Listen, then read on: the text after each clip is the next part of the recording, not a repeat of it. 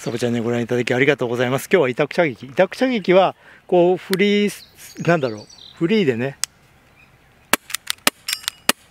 打つのに変わって、何か立てかけたり、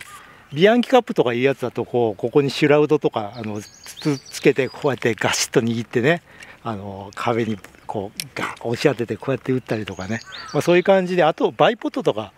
ああいうもので地面にこう、ね、こう置いて打つっていうのも、まあ、委託、まあ、こういうのも委託射撃じゃないかなと思うんですけど、まあ、これについて、あの、お話したいと思います。これ乗ってたんですよ。あの、先日ね、あの、体験会でご質問いただいたんで、カラスも反応してますよ。委託射撃。調べると、委託射撃、正確に照準をただ定めるために樹木などの捧げ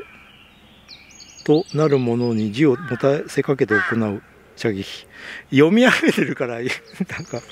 喋りづらくなっちゃった。はい。すごい。鍵木さんの動画がこう出てますね。この下に。ああすごい。委託射撃鹿ハンターさんも出てる。この後ろに この動画が上がるのかな。すげえしょぼい動画だけどサブチャンネルだから。はい。委託射撃とは正確に照準を定めるために樹木などの支えとなるものに銃を持たせかけて行う射撃。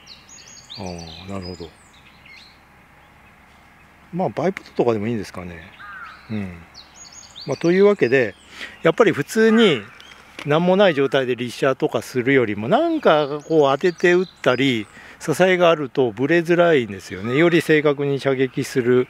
ためにとかあと実銃とかだと反動のコントロールとかもなんかも乗せかかかけてこう来た時で戻りとかも多分楽になるんで何かあった方がいいんじゃないかなということでやってます。それでなんで ですね。私のレビューはちょっとおかしいんですよ。あの本当に銃の性能知るんだったらもうレストして無風状態でやればいいんですけど私のまあ、エアガンレビューの目的は皆さんもご存知の方も多いですよね。メインチャンネルでも言ってるように、エアガン競技知ってもらうためにやってるんですよ。本当だったらね、いろんな銃を紹介する必要もなくて、ただ競技ばっかやってたらいいけど、見てもらえないので、エアガンレビューの中にそっと APS カップとラウスティールチャレンジっていう私が好きな射撃を入れることで、あ、なんかこういうので、あの、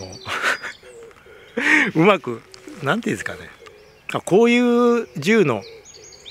スペックというか性能を測る上でっていうなんとなくそういう後付けの理由ができてるけど本当の理由はただ単に皆さんに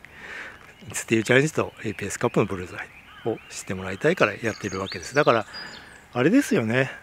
まあラウンドアバウトまあとはいえまあ例えば同じ車種で同じものを打ってるのでやっぱりトリガーアップルが悪かったりとかサイトが見づらいとかあと、そうですね。あと、まあ、リコイルだったり、あと、すごいグリップの握りやすさとか、銃の重さ軽さとかね、まあ、実際に撃ってみて分かることもあるので、ある程度、銃選びの基準になるのかな。やっぱりね、あの、大変そうなやつは、ラウンドアバウト10発じゃない、あの、2回じゃなくて1回にしてたりとか、やっぱ撃ちづらそうにしてるのはやっぱ撃ちづらいんですよね。ある程度頑張って撃ってますけど。で、ただ騙されてはいけないのがあのハイキャパとかグロックあとシグの226とかあの辺はねベレッタも多少あるかな。ちょっと競技でちょっと詰めてねやってたんでまあそこら辺はあの慣れが出てくるんでね。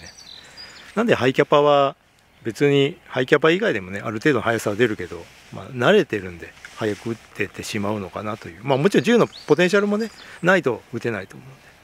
っていう感じです。はい、というわけで委託射撃。やってるのはま APS カップ。もう本当銃の精度だけ見るんだったらね。あれだけどあの委託射撃最近また復活しましたね。委託射撃。あのもうこうやって物にこうね。こう上で撃ったりとかバイポット使ったりとかして。やってるのと APS カップのブルーズアイで実際にねこう撃ったりとかまあ、自分の下手くそさが思いっきり出ちゃうんですけど、まあ、その辺はねトリガーの引きやすさとか自由の保持しやすさサイト見やすさとかね後付けの理由で なん あの、まあ、銃のレビューのねあの